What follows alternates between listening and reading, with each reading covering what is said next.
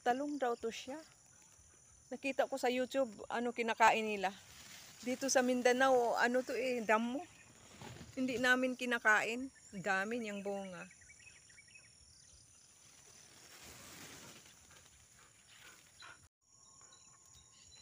Tingnan nga natin.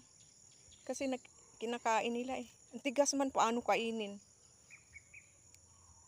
Yeah. Ang tigas. Ah, puro buto. Para siyang talong. Puro puro buto. Matinik yung puno niya. Puro para siyang talong. Pero bilog lang siya ng maliliit.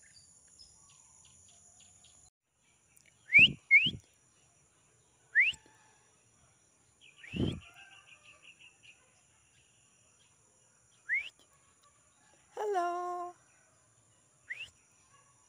You're so beautiful.